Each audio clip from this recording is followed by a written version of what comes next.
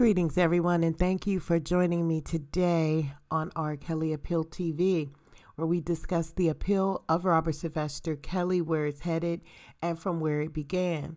This is what I would like to discuss with you today the makers, the shakers of the music industry. I ran into an interview that I feel relates to the great voices of the music and movie industry.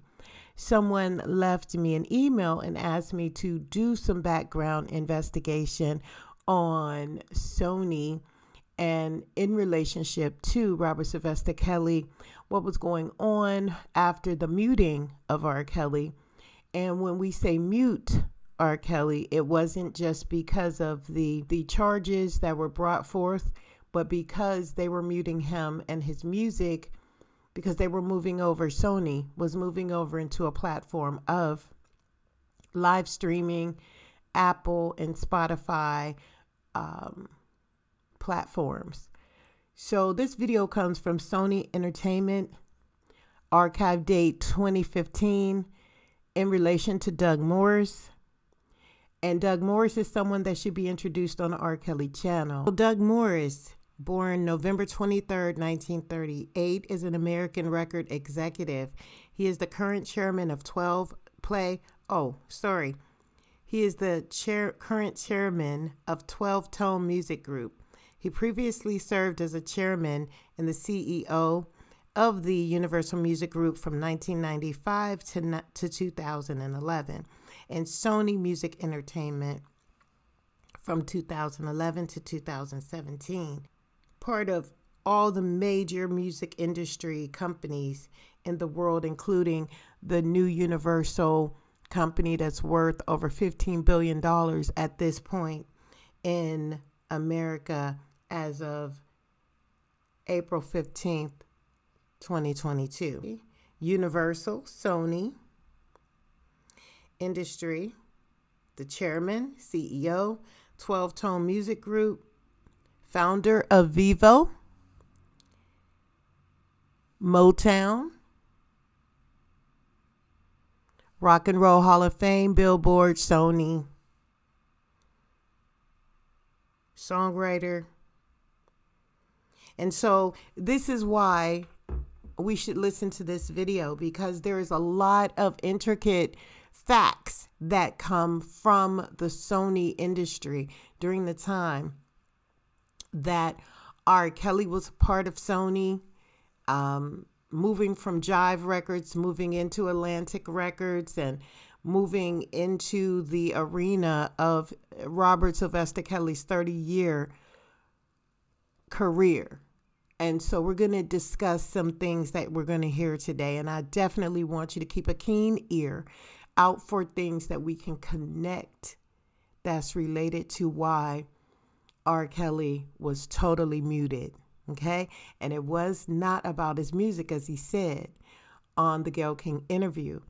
They were trying to kill him from a viewpoint of his musical career. And in doing that, they went so far as to be as dirty as shutting him all the way down. I would also like to add that Billboard did a article on September 28, 2018, Hannah Karp. Music news. As Doug Morris builds new label, former employers question cost of his loyalty to protege. Well, I believe that a lot of people have been stepped on in order to get this group of people where they are today in the world. And um, it's just really sad that R. Kelly was a part of this cost, you know, because now we as the fans and the supporters and the the viewers of this wonderful singer, now we're stuck. We're stuck. Also, according to Universal, January 18th, 2019, Kelly Last Spring exclusive Universal Music Publishing Group has quietly dropped R. Kelly from its roster. The New York Times reported that um, on January 18, 2019, Sony Music Entertainment and its subsidiary label RCA Records have dropped R. Kelly from their roster and will not issue new releases from the singer as Billboard, Variety, and the New York Times report.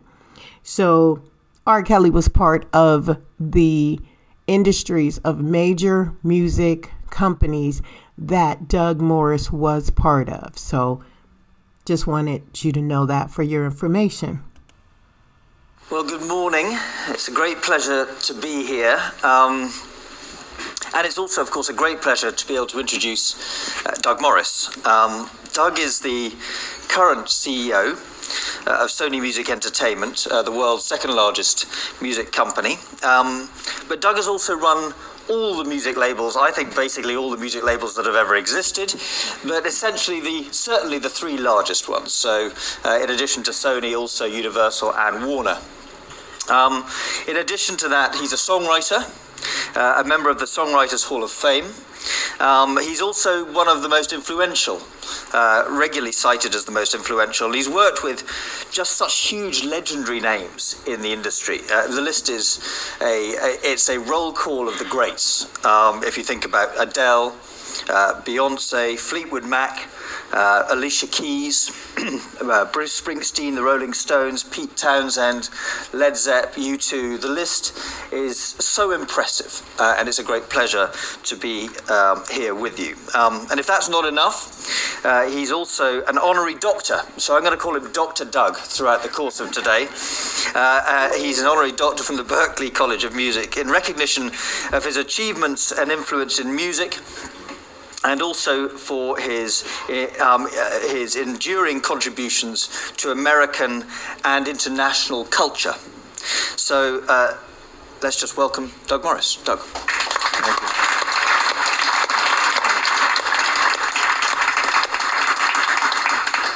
Uh, before we start today, I just want to wish uh, a happy birthday to my colleague Antonio L.A. Reid. You want to stand up for a second? Stand up. Now, as you can see, he is a very strong, aggressive man. His conversation starts off with the introduction. He doesn't say thank you, he doesn't acknowledge the um, interviewer, and then he takes the interview off on his own. Okay, Okay, so let's see who L.A. Reid is. According to Wikipedia, Antonio Marquis L.A. Reid, born June 7th, 1956, is an American record executive, A&R representative, and record producer. He is the founder and serves as co-chairman of Hitco Entertainment. He also previously served as the chairman and CEO of Epic Records and Island Def Jam Music Group, which is part of uh, Arista Records. He's also part of the Arista Records and the Def Jam, and all of the hip hop industry came um, and took over the R&B sector. Between him, L.A. Reid, and Doug Morris, hip hop became essential to the music industry.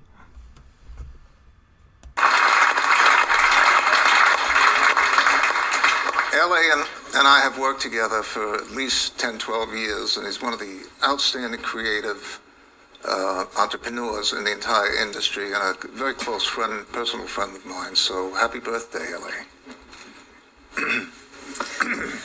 right. Um, yes, sir. Ruben. you didn't know what to start. Um, let me start at the beginning. It's always a good place to start. Um, uh, with your background and early career uh, in the music business. Um, so you came from, you come from a professional family background. Um, your father was a lawyer, uh, your mother a ballet dancer and a teacher. Yes. And your brother was a scientist. Yes. Um, so I'm not quite sure how to put this delicately, but how did you come to choose the music industry, which is anything, uh, or certainly in the 1950s, was anything uh, apart from a recognized profession? Well, I'm one of the lucky ones because I think that the music business chose me. Uh, from my earliest memories, I remember loving the, the music of that moment. the music that was sweeping across the United States was music by Chuck Berry, uh, Fats Domino, uh, Little Richard, Jerry Lee Lewis. It was exciting, sexy kind of music, very different than what had preceded it. It was just fascinating to me, and it was very simplistic in its chord structure. it was basically CFG chords, and that's all you really had to know. So I used to go to the piano in our living room, and I demolished that piano because I would bang away at those CFG chords, and I would put a top line on them with certain lyrics, always singing about girls and things like that. And I consider myself somewhat of a songwriter, the songwriter with no success. And um, I did that for years. I'd walk around with uh, a tape recorder. And of course, my, my parents were very worried about it. I thought till I was 16 years old, uh, my middle name was Who's Going to Take Care of Doug? so, what was your first? What was your first job in the music industry? Um, I got a job with a famous publisher named Lou Levy, uh, Leeds Music, and he paid me uh, $25 a week to come and write songs. but it was great because I was in college and I'd go down to his publishing company, which had a recording studio in the back, and I'd sit there and they would record them. And that was the best part of the whole day for me. And of course, there's a lovely link with Lou Levy because. There's a lovely link with Lou Levy because the Epic Records link, of course, is. Oh, there. Oh, that was very funny. He um, he introduced me to a gentleman by the name of Jim Foglesong, who actually was a very well-known um, A&R executive. And lo and behold, he signed me, and the next thing I knew, I was down in Nashville making a record with the Jordanaires, each of whom could sing better than me. And we put the record out.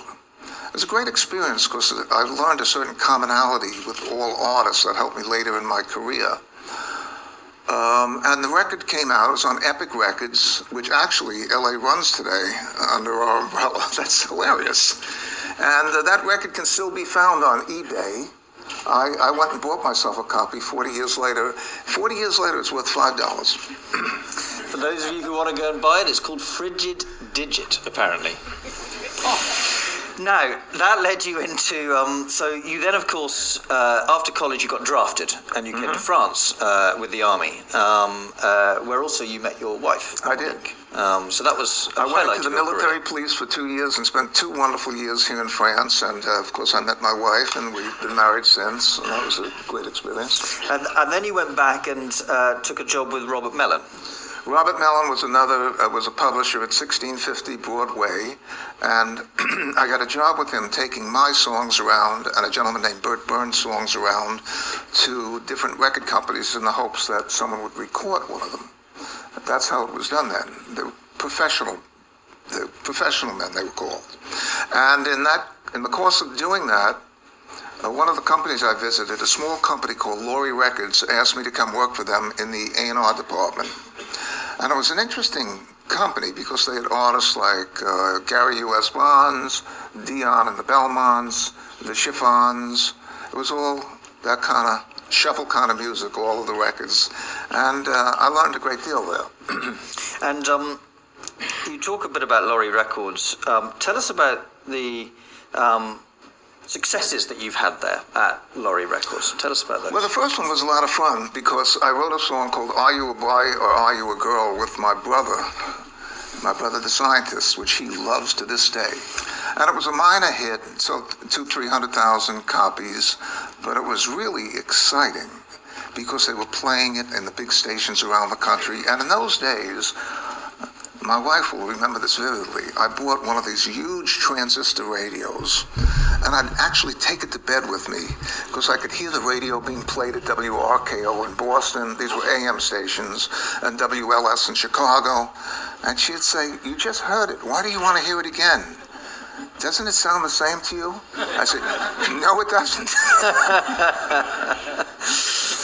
and then you tell the story about um, uh, the single 30, uh, Laurie 3380. Um, this well, is this is was, a little yes. bit of soul, correct? Yes. Well, I had some success at Laurie, so they were starting to let me um, sign records. I, I produced and, and I wrote a record with the Chiffons that was a big record, Sweet Talking Guy. And then some producers came in and I leased a record from them uh, called Little Bit of Soul by the Music Explosion, which I always refer to as Laurie 3380. So when you lease a record, that means it's not yours. You lease a record and um so what he's saying here is during this time the industry was moving into the gender specific or the gay bisexual transgender world. They were moving into the love, grinding, bumping, shaking, all that, you know, um, dance routine into the transgender world. That's why the first song he comes out and speaks about is Are You a Boy or Are You a Girl? Now, also, I want you to pay attention to how the Laurel program, the Laurel leasing of this album came to be, and how much mu- how much money the music industry prior to him made until he was smart enough to catch on. Let's listen. And that really set the it set the road for me to travel where I really learned the record business and what the record business was truly about. And it happened, I came in one day and there was the sales manager was a guy named Murray Singer. And you would think he'd sit there. I vividly remember him sitting at his desk with a cigar, taking the orders, hundreds of single orders, thousands and thousands of single orders, tens of thousands. And one day I walk in and there's 300 piece order of Laurie 3380. He said, wow, my first order on this. And I asked Murray, what does this mean? And he said, he sort of dismissed me. And he said, it's nothing. It's a nothing. It's a jukebox order. It's a nothing. But I was very curious. And I looked and I saw that it had been ordered from a distributor in Baltimore called uh, Schwartz Brothers. And I went back to my office and I was curious to find out what it meant. So I called Schwartz Brothers and I asked for the guy in the back room. And I said, listen, I just see you have ordered 300 Laurie 3, 3380. What's the reason? And he said, I have two stores in Cumberland, Maryland. I've never heard of Cumberland, Maryland, that ordered 100 pieces each. I said, wow. And then I said, why'd they do that? Logic kicks in. So I found out the name of the stores. It was Vandegrift's and Sears. And I called Sears and I asked for the person who sold the records over the counter. And it was a young lady. And I said, you ordered 100 pieces of the Little Bit of Soul record. Why's that? She said, I had 100 kids in Sunday looking for it.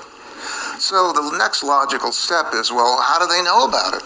And she said the local station WCUM is playing it. I said, wow. So I called the local station, WCUM, and I asked for the music director. And his name, I still vividly remember, his name was Jeff Henderson. And I got him on the phone and I said, you're playing this record? He says, I put it on because I liked it and it's my one, number one request record already. And I'm getting calls from all over the state for the record. And I said, oh my God, I got a hit, I got a hit. And I brought that information to my bosses who put the money into it to start promoting it. And the record actually went to number two in Billboard and sold uh, several million records. And in doing so, I really had taken the cover off the mystery of what the record business is. Now, that is R. Kelly's story in and of itself. That is how he was promoted. That is how he went out, you know, distributing and advertising his videos, um, or not videos, but um, audio. So, you know, he could get on the record label as a young guy moving into the 90s. And this is how the system runs. But wait until you hear about the streaming. Let's listen. If you really think about it, it's quite a simple business. You have a magic piece of product. Someone plays it or exposes it, and if people like it, guess what they do? They go and they try to buy it, and they want to hear it again. So with that information, it opened up a whole new world for me. It was that simple. So to me, that story is, I mean, it's fascinating hearing that because um, it shows this uh, uh, sort of insistent curiosity that you've got, and this perseverance as well, and also what you call this pursuit of logic. Um, how important are those traits, the, the persistence, the curiosity, um, and that following the logic? How important is that in today's music market for people in the business today? I think in any business, uh, that's what it's about. Something happens, you want to you want to know why did that happen, and what caused it to happen, and what's going to happen next. And if you know, it's really important to think that way. Some people, it's also simple. Keep it simple. Sometimes people go A to B to C to D, but some people go A to C to B to D, and they get all caught up in the cobwebs and they never get to the end. If you keep it simple and just go from one step to the other, you may find out a lot of things that will surprise you. So, having worked for these other companies, you then took the step to set up your own business, and you I called did. it uh, and you call it Big Tree Records. Um, I did. why did you call it Big Tree Records? I have no idea. okay. so, well, why don't you tell us about the label? I beg your pardon? Tell us about Big Tree then. Well, I've seen what happened at Laurie just by following logic, and you know, at that moment, I really understood the music, and um, that was fortunate for me. And I went in with my friend Dick Vanderbilt, and we set up this small company, the two of us. And I would sign the records, and he would promote the records, and we had a lot of hits. I went in the studio and I recorded. I wrote and recorded the song "Smoking in the Boys' Room," which was a very big hit. Um, we had You Sexy Thing by Hot Chocolate, which I got from Mickie Most in England.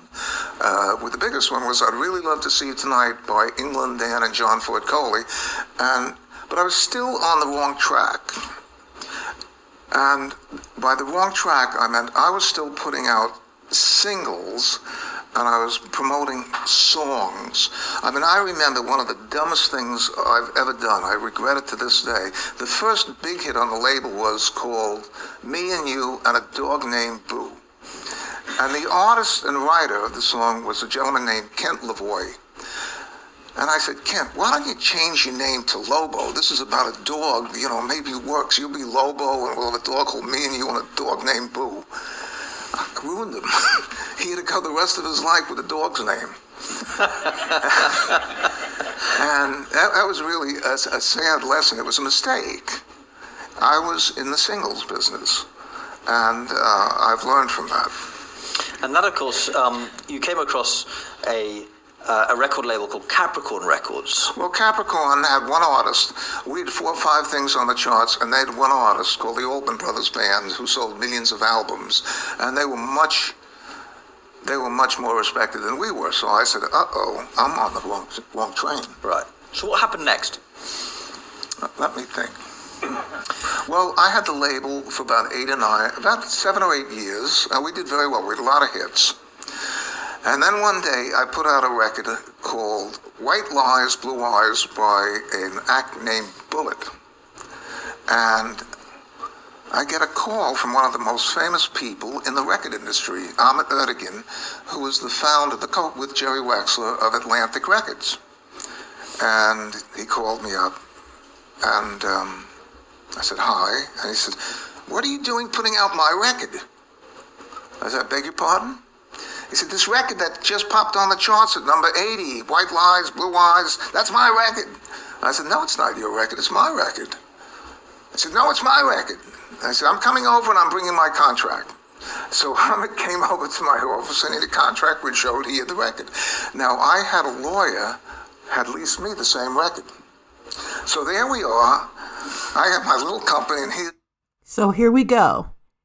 In the industry, when people lease things to people like time, like careers, they're only leasing that spot for a moment until, like he says, if we keep it simple, A, B, C, D versus B, C, A, D, we will see that the industry changes. And you'll recognize through his interview, he doesn't really come up until he gets with the brothers of the industry of Def Jams, but let's or Def um, um, Death Row Records. Let's listen. This is one of the great music men in the world uh, with the same record. So it was an interesting conversation, and uh, And uh, we ended up, he shipped his record on top of my record, thereby killing both records. But it was very interesting because the next week, um, the president of Atlantic, Jerry Greenberg, called me up and said, uh, Mr. Ertegun would like to see you in his office tomorrow. And I said, Well, tell Mr. Ertegun I'll be there exactly when he wants me to be. and uh, I went to his office and he said, Look, I'm, I'm very impressed with your label, and I'd like you to, to buy your label, and I'd like you to come one of the divisions of Atlantic. I was so excited, I thought my clothes were to catch fire. It was just a great moment. And he did. And he put me in charge of a, uh, a funny label, it's called Atco Records. And Atco was supposed to be responsible for two major rock and roll labels. It was Swan Song, which was Led Zeppelin, and Rolling Stone Records, which was the Rolling Stones. And I came in there with a background of uh, Lobo and me and you and a dog named Boo. So it was a.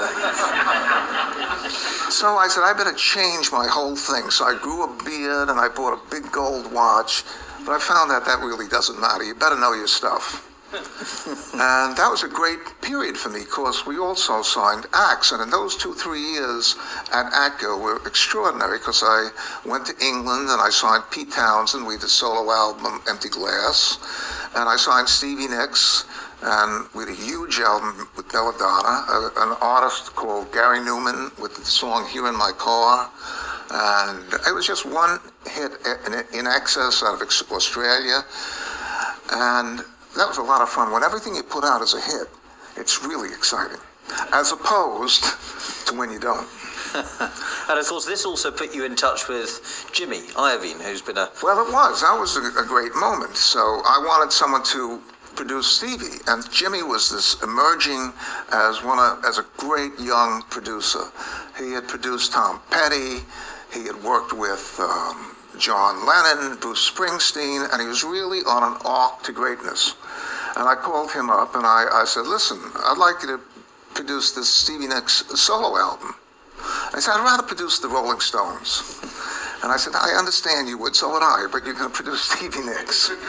And he came and he went out there and he produced her solo record. So I was very good friends with Stevie, and I called her up after the first two weeks, and I, I called her at her house to find out how she was doing. and Jimmy answered the phone. I said, Hey, Jimmy, can I talk to Stevie? And he said, She's sleeping. So I said, Ah, so what are you doing there? And that's when I realized if you're going to work with Jimmy, you got to be ready that he's always going to get a little something extra. and that's the true story, right? So tell us a bit about Jimmy and his uh, his family life, his background. Um... Well, Jimmy's Jimmy's an extraordinary person. Um, he comes from Red Hook, Brooklyn. His father was a stevedore. And I think his mother did the numbers. But um, it's very interesting because he's really a product of his dad. If Jimmy would get up early in the morning and make breakfast and make an omelet, his dad would come in and say, That's the best omelet I've ever seen. No one can make an omelet like Jimmy. I don't know if that's true, but his dad thought so. And then he'd say to his dad, Can you believe I'm going to work with John Lennon tomorrow. And you know what the dad said? Lucky John. now, when you got someone like that behind you, or a mentor like that who's with you, it gives you the confidence to go out and destroy the world. And that's what Jimmy has. He's got an enormous talent. Now, at this point, you can look at R. Kelly and see the love that his mother, Joanne Kelly gave to him to do beyond and above what even his brothers were capable of doing. And they started way earlier in the game. The reason I'm going on with the story, I know it's very mundane, um, but we need to listen to how Sony built itself up, how the chairman was thinking, where the chairman came from, and why he made the decisions in which he did because when we get later into the video, we're going to see what Apple, Spotify, and Sony has to do with uh, the R. Kelly situation. But um, Let's keep listening. Intellect and a great belief in his own ability. And um, now, tell us about the. Um, so, I mean, there's we could spend an entire session talking about Jimmy, of course, which we're not going to do. We're, we're talking about you, but just tell us in particular about how you and Jimmy came to spot the potential for rap music, which, of course, was quite challenging um, at the time. Yes, I had signed the first one. I had signed. You know, I was first taken aback by the lyrics and the misogyny of the rap music.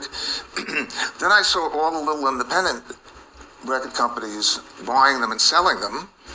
And being a big advocate of the First Amendment, I, I followed uh, and started signing rap artists. And the first one I signed was Two Live Crew, which I got in a lot of trouble for. They actually got arrested down in Miami for selling their music. And um, we convinced Bruce Springsteen to let us turn Born in the USA into Banned in the USA. And it was a great moment. And I, I really uh, got taken up with it. But Jimmy, who has certain kind of ability to almost Okay, I need to stop here because now do you see why the R&B of music that was taking up the the 60s, 70s and 80s was getting ready to be replaced by the 90s and 2000s music changing the music was changing right before our eyes. And we were still listening to R. Kelly because R. Kelly was just coming on the scene. But what happened was they didn't have any room to place R. Kelly in there. And that's why I believe he had to fight so hard to get into the game because they were moving out of R&B into hip hop and into, you know, the next genre of music. And he was holding back the ability to move forward with the hip hop industry because now he's coming out and everybody's loving him. And nobody really signed him in. He forced his way into the music industry. And sometimes when we're not welcome, we need to learn to stay within the remains and the, the areas in which we are welcomed. Because situations like R. Kelly will come to pass. So let's keep going. Jimmy, who has certain kind of ability to almost see around corners, he called me up and he said, You know, this stuff is going mainstream. We really have to get into it. So I said, What do you suggest? He said, Well, I met this guy. I want you to come out and meet him with me and tell me what you think. I said, Who's the guy? And he said, His name is Suge Knight. I said, okay, Suge Knight. So we're going to meet Suge Knight. He said, yes. So we met him in a fancy little restaurant in California, a restaurant called the Ivy. And Suge Knight came to lunch. And Suge Knight was a former gangbanger out of Compton, a member of the Bloods. When I met him, I said, oh my God, this guy has the biggest chest I've ever seen. He's about 280, with a cap pulled down. And after everything else was said and done, I must say, a brilliant record man. Brilliant, brilliant record executive. And he had. I believe Suge Knight is incarcerated right now as well. Could someone? I'm I'm gonna look it look that up. I'm not really into that much hip hop, but yes, I do believe that he is incarcerated at this time as well. This label I wasn't crazy about the name of it, but it was called Death Row Records, and uh, their they had their symbol was a guy in an electric chair being strapped in, and it was sort of out of our culture for the moment. But um, he says, listen, we're going to go to this restaurant and talk to this guy. Now, Jimmy weighs about 120. Suge weighs, he was a former football player for the LA Rams. He weighs about 280. And they were sitting next to each other in the restaurant, and I was sitting across them. And I found it very funny because they twitched together. You'd see this twitch, and the whole thing moved. And, and Jimmy, Jimmy said to me, Listen, when I wink at you, it means I'm going to go to the bathroom, and I want you to tell Suge that I'm a genius. I said, So you want me to tell Suge you're a genius? And because of that, what's going to happen? We're going to sign Death Row Records. I said, Because you're a genius? He said, Yes. so there he goes off to the bathroom, and I'm sitting there across the way from Suge. I said, Suge, you know, you're very fortunate. He said, Why am I fortunate? I said, You're going to have the chance to work with a genius. Yeah, who's the genius? I said, Well, you're one of the geniuses, but the other one is Jimmy. He says, Jimmy's a genius? I said, He's a genius. He said, Yeah. And I said, Yeah. And this went on and on.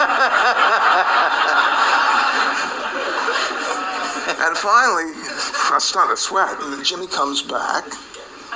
And uh, believe it or not, we made that deal, and Interscope picked up the distribution for Death Row Records, which was an amazing moment because with that label came Dr. Dre, Snoop Dogg, and a myriad of iconic rap artists. And um, that was an incredible moment. So that was Atlantic. So that what was, happened? That was yes, the Warner Music Group. The Warner, yeah. So what happened? What happened after Atlantic? Well, I set up a company with with Jimmy and with Ted Fields called Interscope, which is a very very famous record company today. And what, what happened when? So um, after Atlantic, you then, uh, which what, what so, so so 16 years you were working with Ahmet, right? 16 years I worked. Yes, and, and then I worked in the Edgar next, and I worked in the office from Ahmet Ertegun. Yeah, and then and then after that, Edgar and MCA and. Well, after that, um, I got fired at the Warner Group. We were um, being bombarded with the rap music. People did not like the misogyny. Washington didn't like it. Um, Jerry Levin got beat up with it, and that meant we got beat up twice as much. And um, a gentleman came into the company, Michael Fuchs, who wanted to run the record division. My whole crew got fired. But it was very interesting because Edgar Bronfman actually owned 15% of the entire uh, Warner Communications. And he called me up, and uh, it was a very interesting story. He called me up first and said, Doug, I want you to go see a movie called The, the Shawshank Redemption. And think of me as the guy on the beach. Edgar is a very lovely, soulful man. He had bought all of Music Corporation of America, the entire company, the, the, uh, the movie company, the record company, the, the whole thing. And um, I went to the movie, my wife and I, and he said, I looked at the movie, and, and it ends with this felon, which I guess was me, breaking out of prison and getting to the beach and meeting the man on the beach who was Edgar, and they sailed off to a wonderful life together. I'd like to input in this area right here that many people are ploys to the big businessman's game. And when it boils down to it, the big businessmen are the ones who ride off into the sunset in the beautiful sun, while many are incarcerated and left for dead because they just stepped over them. What are your thoughts here? Um, I was told that a lot of big businessmen they make box office hits because there are subliminal messages in the movie. And sure enough, Sony chairman just said that technically that was the story. that was the story. They they they break out of prison, but yet and still Death Row Records is sitting there incarcerated. amazing. Amazing. At which point, he offered me a job running MCA. Now, MCA, as a music company, was known in the industry at that time as the Music Cemetery of America. Sincerely, everyone that was, they had very few artists. They had a very good country division, actually. And they had Mary J. Blige and a group called Rush, but that was it. They had about an 8% market share. And Interscope and then Universal? Well, what happened was Jimmy was getting bombed from Washington because he was still putting out these vulgar, misogynistic records, and it was very easy for him to free himself then from the Warner Group. And I was very eager to get him to Universal. It was to MCA, which I, Edgar and I changed the name to Universal. So there they came. Jimmy ran the West Coast, and I ran the East Coast, called it Universal. And that was the key moment for that Universal. It was a small company before that. Jimmy came over, and within the first year and a half, he had uh, the number one, two, three, four albums in the country. And we ran right up to like over a 20% market share. It was an amazing, real. And R. Kelly was definitely number one in many of those hits. He sat number one for six weeks. R. Kelly was six weeks in the running with the song that him and Celine Dion did, and it stood six weeks at number one. So R. Kelly did help contribute to the MCA's marketable increase of awareness to their listeners. And that's all he was asking for was some of the royalty back from all the things that he had done um, during his 30 year career. And he wasn't receiving the benefits or the fruits of his labor. Let's listen. We're 20% market share. It was an amazing, really fun. So, what was your strategy at Universal?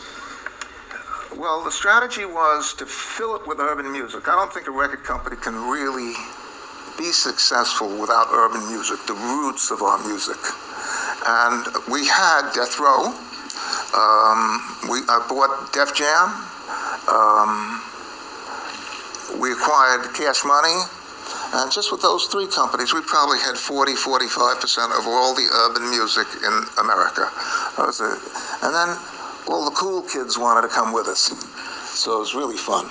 So, I mean, it's interesting hearing that because um, it strikes me that you must have thought about a particular culture, about generating a particular culture mm-hmm. at an organization like Universal. Can you talk us through what what culture you tried to bring in? Well, by culture, for me, you know, getting that urban music was was cultural, but I had my own cultural culture about how I ran these companies and have continued to do this through my whole career. And it may sound square to everyone, and no one may believe it, but my whole philosophy about running a company, you could put in one word, two words be nice. Treat people with respect. Make the people who work for you feel great. Make them know that you appreciate what they do. I know when I was coming up, people would degrade you, make you feel bad, send you at home at night, worried about your job. There was one guy who used to say, I want to see you on Monday. I have something to talk to you about. You knew it was something bad and you worried about it all weekend. Those are cruel people, and I don't want to be involved with people like that. Our companies are based on mutual respect and loyal to, e- to each other. And that works. When you really mean it, and the people who work with you know you really mean it, that they do something special, you pay them a little extra. That the people going out at night, out that door, are your most important asset. That's the culture I believe in. I hate screamers. I hate people who abuse other people. And our companies, the ones that I've been in charge of, that's not tolerated. And uh, that works for me. So R. Kelly should be feeling as though he has been respected in the industry since he is the king of R&B because he's done everything. He's went above and beyond. You think of LL Cool J. LL Cool J was a guy who made, um, I think, his 12, 12 albums. That's what he wanted to do in his career. He did that. And then now he's, you don't even really hear too much of LL, but he's still on the scene. He's still there quietly you know, submerging into his uh, career ship. However, R. Kelly was the is is the king of R&B as well and he wasn't respected he wasn't given his royalties he wasn't given his respect um, he wasn't even given a handshake to say thank you for a wonderful career which i know that's what he was looking at because of the way that the powers that be controlled how he was going to go down in history. And it's very sad. But this was the culture that Doug Morris chose to abide by in his long term career since the 1950s. Do you believe that? How many people can we list in um, the top R&B and music industry roll call names that would beg to differ? So you've had some great partnerships in your career. Um, Ahmet Ertegun, you worked for uh, you, you worked with him for 16, 16 years, and Jimmy Iovine, uh, obviously 37 and counting. Um, tell me about that.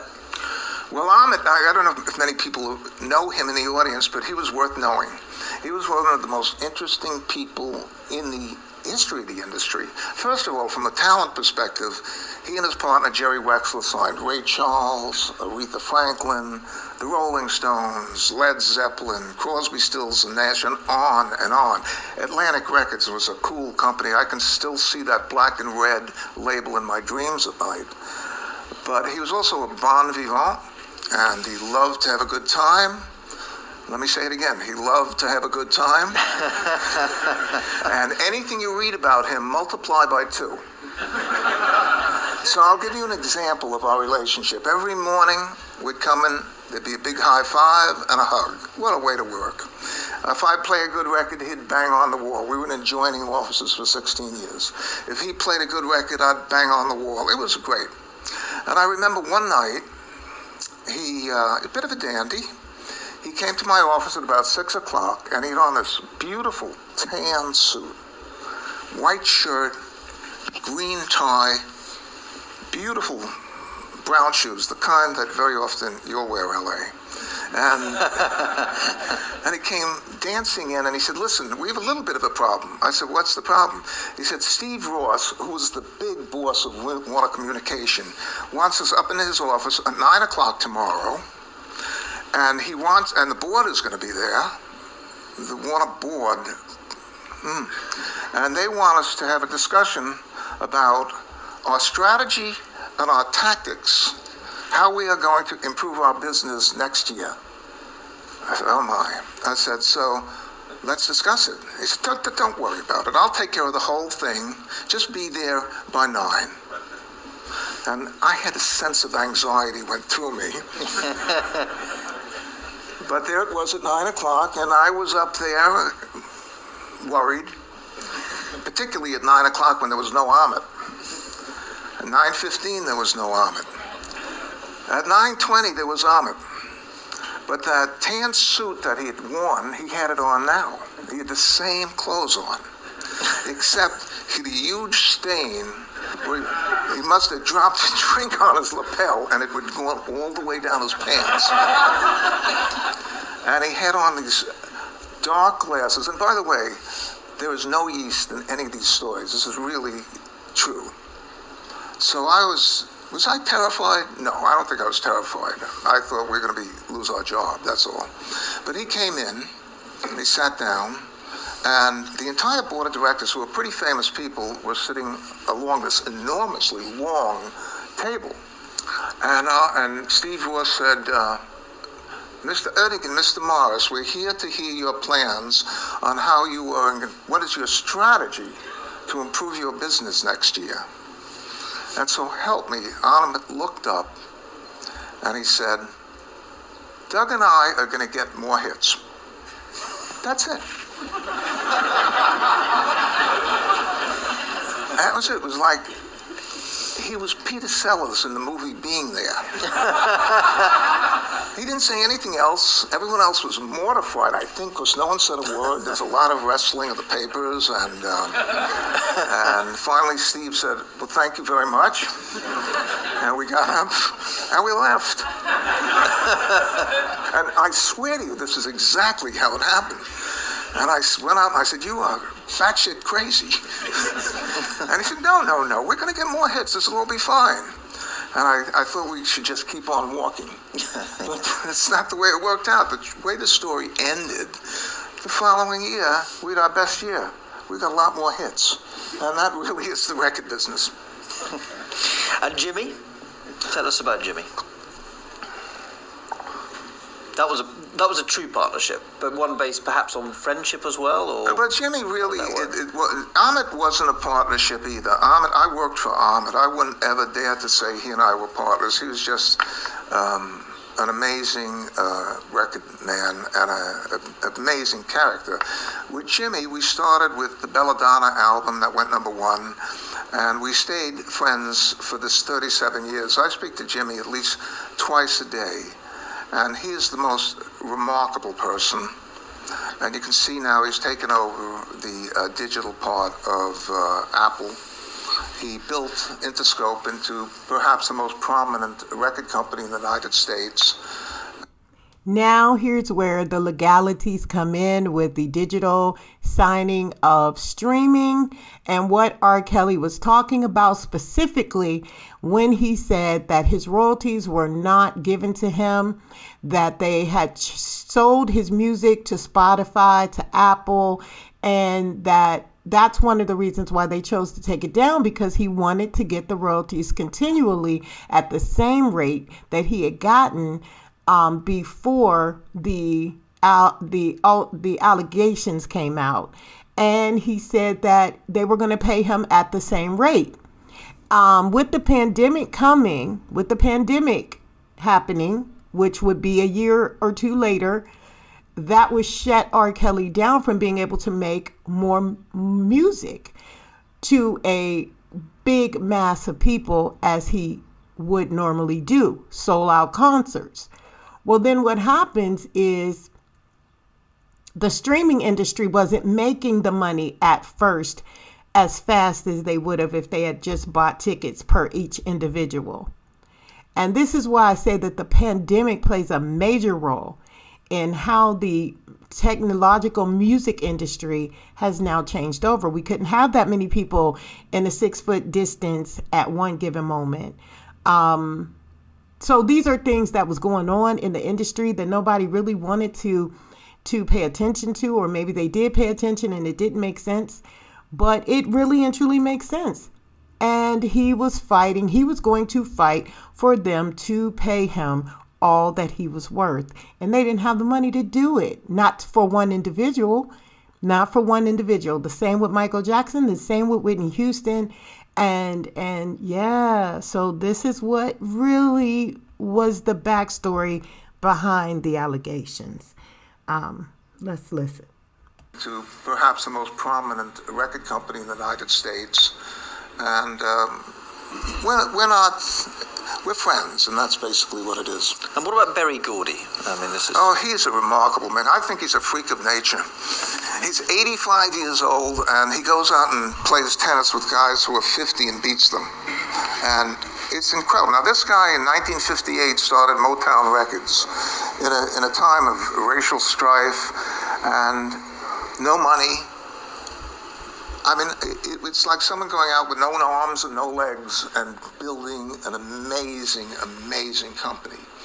And think of the people that he signed, uh, just from Michael Jackson to Marvin Gaye. It's just crazy. And I had the good fortune, we were friends, and one day um, we were having lunch together, and I asked him, I said, why, why haven't you done the Motown story? And he says, I'm, t- I'm working on a show. I'm working on Ain't No Mountain High Enough. I said, Really? Said, yes. So um, the next day, someone who worked for him called me up and said, Did you enjoy your lunch with the chairman? They still call him the chairman. I said, Yeah, except I think that he should be going to see a psychiatrist. He said, Why would you think that? I said, Because why doesn't he do the Motown story? I mean, that is a story people are interested in. And um, I said, maybe he's got some emotional problems with the story. You know, he had a child with Diana Ross. He was most of the artists left when they got offered huge money by the majors. It might have had a, a, a, bad feeling. The next day he calls me up, and I was a little concerned about picking up the phone. And I get him on the phone, and he says, Doug, I said, are you going to chew me out because I said you should go to a psychiatrist? And he said, no, I just called you to tell you I'm making all of my appointments now. Come on over. And I went over to his house, and with a handshake, we just started to do Motown the Musical and that's one of the great experiences of my life. Really fun. So, um, I'd like to change gear just okay. a little bit, okay. um, and um, focus on some of the big themes, some of the big issues that um, uh, are being discussed in the industry, but also here in MIDEM as well. And first up, um, can I just talk about the debate about pay uh, or ad supported when it comes to streaming? What's your view? Pay, good ad supported, unless there's a conversion factor into a pay service, not so good. a company like Spotify, there's a hundred, um, hundred streams equals a dollar. Say the biggest of the on-demand, ad-supported, 900 streams to a dollar. So you can tell which one we like. But I do think that this change to streaming signifies a tipping point in the music industry. Now, for all of you who are in the industry, I, I guess you realize that in the last 10 years, the industry has been actually halved. It was a $30 billion business. It's now a $15 billion business. Think about all the people who would love to work in the industry who can't. Now, what caused this? It was the disruption of a lot of other business, probably internet piracy. I think ad-supported uh, streaming will hurt it also. Um, but I think that this tipping point will bring it back to where it was before. And the reason I say that is you need an example to base any conclusion, any kind of logic on. And the first mature streaming country was Sweden. And Sweden is back to where it was. Sweden is back to where it was 10 years ago.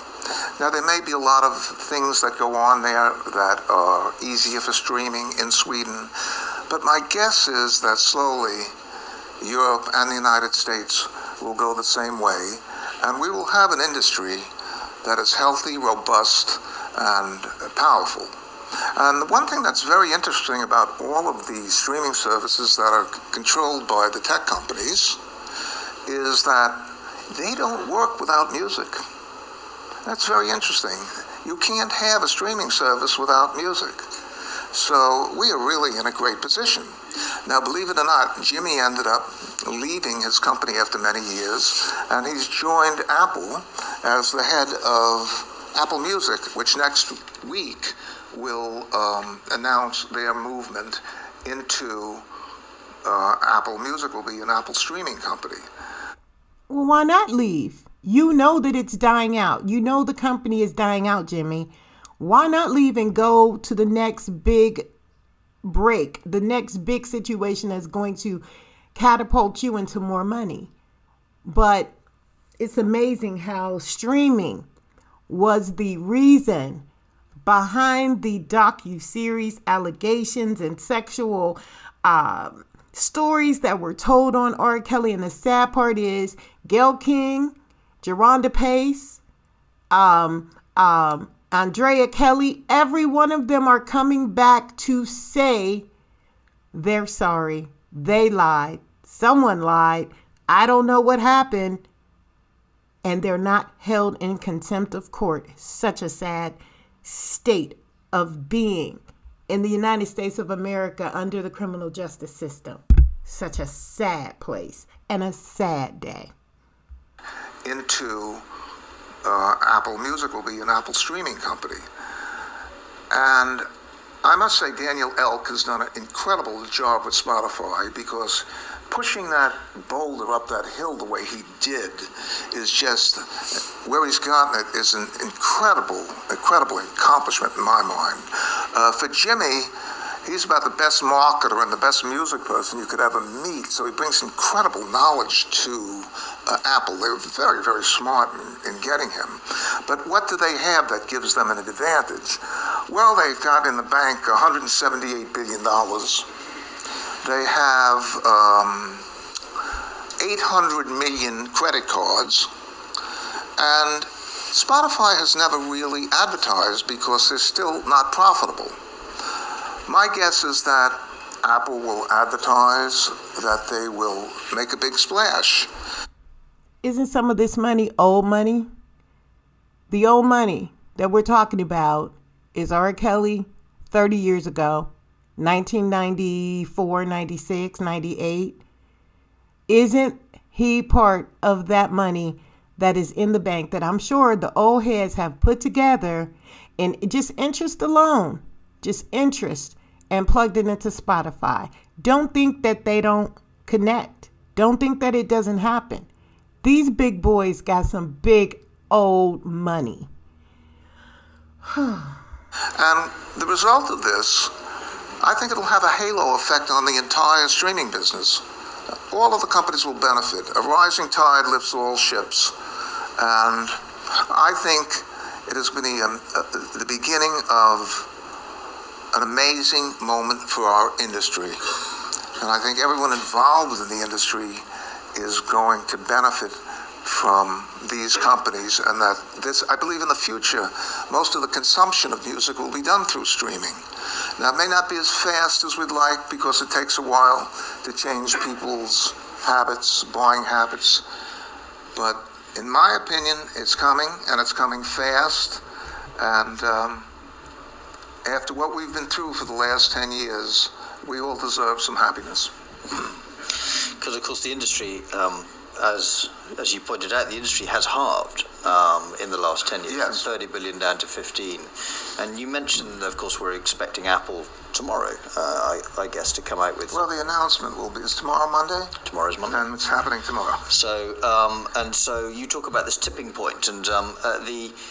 Do you think the industry can get back to 30 billion as well? Is it is it able to get back to where it was, or is it going to be a more graded recovery? Well, if you look at Sweden, which the empirical evidence is there, Sweden is back to where it was 10 years ago.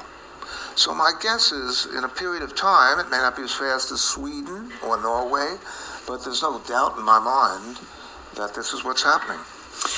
So you mentioned Apple, and I have to ask you about Steve Jobs. I mean, Steve was someone who you knew. Um, uh, uh, did he understand the music industry? He certainly understood it well enough to sell millions of devices using the music. so that's pretty smart. Yeah, yeah. Um, Steve Jobs actually came to my office the first time I met him. He had signed a deal with EMI uh, to use their music on iTunes. But Universal was the biggest company, and he desperately needed that music to really start his his business. And he came in and he laid out a program to me from iTunes to the iPod and what he was going to do. And I was so taken by him, I was shocked. He was so articulate. And my, the people in my company were really against leasing him the music because they thought it would open up the album. Well, they were right. The problem with their thinking was the album had already been opened up by the internet. We were selling, everything was being stolen.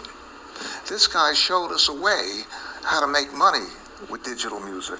Now, But yet they stole from the very beginning before it hit digitally. Thank God for the internet because now everyone has a voice. You wouldn't be listening to R. Kelly Appeal TV right now if it was still back in the traditional times of Sony and the traditional music industry. in the record business, we spent tens of millions of dollars trying to create a digital system to sell music. None of them ever worked. We had one thing at Universal called Blue Matter. Spent because the universe is not racist, not sexist, not prejudiced.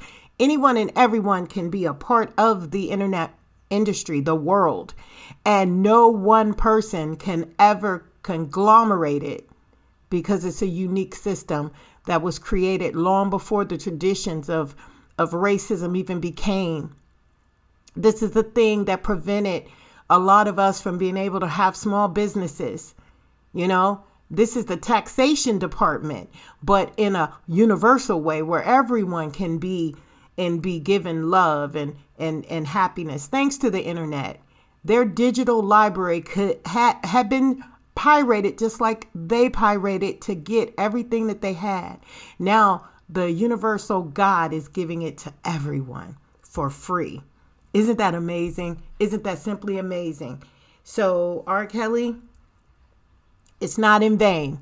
Everything you did, everything you believed in, everything you said, it was not in vain. It, it, we're listening. We're listening. no one ever got it to work. So Steve did it with such grace and class. It was it's amazing. So you've talked. Uh, so uh, it strikes me that you've seen. I mean, obviously you've seen the industry from both the content side and also the distribution side. What, in your view, is most important, content or distribution? Well, there's no comparison. You have no distribution without the content. I mean, without, let's call it a hit or music that people like, you end up with an empty slate and an empty disc. I'm just like Doug Morris was when he started the history of how he became. All of his hits from 1950 to 1960, we didn't know anything about. Maybe it's because that was not our genre. Okay, but maybe some older viewers who are listening may remember all of those hits. But I don't remember nan one, not a one. And I'm being sarcastic there. But I don't remember one. I don't remember one. How many do you remember? Before he started talking about Def Jams, how many do you remember? Never saw anyone distribute some music that people didn't like.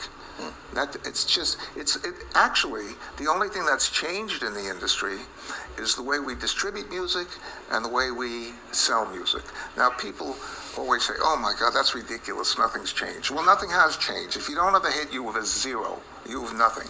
So you, we're all slaves to the people, the brilliant people who are in touch with the culture and can spot an artist, can spot a record that's going to be important, that people are going to die to listen to over and over again. And that's hard to do. And that's where we invest our money in these people. Well, you should have kept R. Kelly out.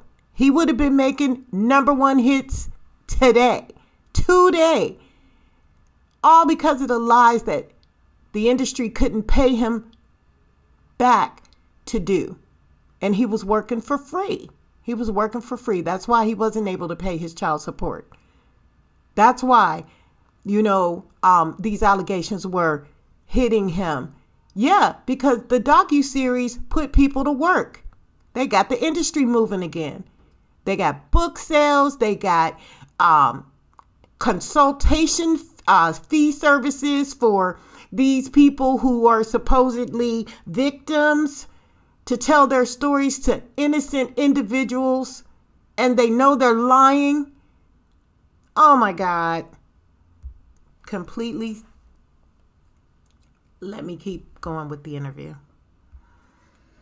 Now we're approaching the end of our allotted time, but uh, just a couple of final questions, if I may. Um, first of all, um, of the of the different things you've done in your career so far, what's been, in your view, the most important contribution that you've made to the industry? Um, I think it was taking on the ISPs. It was very interesting because one day I was watching my grandson. He was watching videos, and he was watching an old video. I think it was called "In the House." Or it was a rap video and I'm watching it, I see these, this ad comes down, another ad comes down, another ad comes down. This video was seven years old. I'm saying, I wonder what we're getting paid for these videos. So the next day, I call up the president of our company and says, How much are we getting paid for those videos? This was on Yahoo. And he said, Nothing. And I said, Why nothing? He says, We don't get paid for videos, they're promotional. I said, Oh, what a ripoff. So I called Terry Semel, who was the head of Yahoo, and was a friend of mine from the Warner days. He'd run the picture company. And I said, Terry, you're running all these videos of ours next to you get next to advertisements. So are you getting paid? He said, Absolutely. Well, what are you doing for us? I'm giving you great promotion. I said, I don't want any promotion. We have enough promotion. Stop with the promotion. I said, I want to get paid. And he said, and he's a lovely man, he said, over my dead body. Honest to God. So I said, well, here's what we're going to do. Uh, we're going to take our videos off. And we worked out a deal where we asked them for eight tenths of a cent for every video that they would show. And they sent me back a very polite letter saying, absolutely not. So we took all the videos off all the ISPs, and as soon as we did that, it was interesting because Sony, I was at Universal then, I get confused sometimes with the companies, but as soon as we did that, Sony took theirs off, and you could, you could see their audience go down immediately. 30 days later, they called us, and they, everyone paid us. So in that one month, we turned videos, which were a huge, tens of millions of dollars of expenditures to promote the artists, into a tremendous profit center, which is increasing every day. And it was just because you can't be afraid of things. You have to go face them. I didn't get one artist complaint. The artists knew they were making no money from these things. And um, it was a wonderful victory for the industry. So if we could just close with maybe um, uh, a final thought from you in terms of words of wisdoms, um, some thoughts about um, what young people in the industry today should focus on in terms of their career. What would, what would your advice be to people starting out in the industry today? Well, first of all, you have to know what your talent is. Some people are good as recording engineers. Some people are good at publishing. Some people are able to identify great artists. Everyone thinks they know a hit, very few do. You have to first look at what you think your strength is, and then you can't listen to the people who are going to tell you, don't go into that business, it's a dead end. You're going to end up starving to death. You really can't. There's a lot of naysayers who'll, it, who'll stop you from living your dreams. And it's your life, so live it. Don't be afraid, would be my. Don't be afraid of anything. When you're doing something that you love, it's fun. And when something is fun, you actually get good at it. And that's my advice to anyone who starts in this industry. Do what's fun and what you love going to work, and that you can't wait to go to work that day. And everything becomes very clear when you're doing it. And I think of my own career, which I, I can't get to work, I can't wait to get back into my office Monday to see what's happening. And that's 50 years later, so I'm the perfect living example. So thank you very much. So, what are your views? What are your thoughts? I want to say truthfully that I have no problem with Doug Morris. I'm a business consultant. I know about business and I know about business moves, and sometimes you got to do what's best for you. However, when you take a person's life, when you take their livelihood, when you take their opportunities away just because um, the powers that be that are surrounding that board table, that board of directors, that next um, profitable um, merger, we need to consider that these are not just ideas, these are human beings. So that's the problem I have with Sony. And I wish that Jennifer Bonjean had have went through all of this information. And I wish she had met R. Kelly in 2008 prior to this case because a lot of it would have been on the books that it was a bunch of bullshit over royalties that it was all about, it wasn't about the music, as he said. They were trying to reduce him to ruins and make him a homeless individual. Because what would he, where would he be right now without being incarcerated? He would be homeless. The R. Kelly, the king of R&B, because of how they muted and sabotaged his entire career. I thank you for liking, listening, joining, subscribing to this podcast. And we always update our information on the appeal process when we feel that something is important enough to share with you because we know your time is very valuable. But this right here was the making of the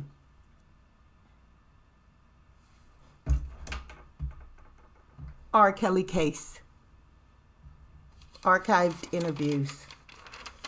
This was the making of the R. Kelly case, archived interviews. And it was also about the royalties. So thank you. And as always, keep it 100, and we'll see you next time.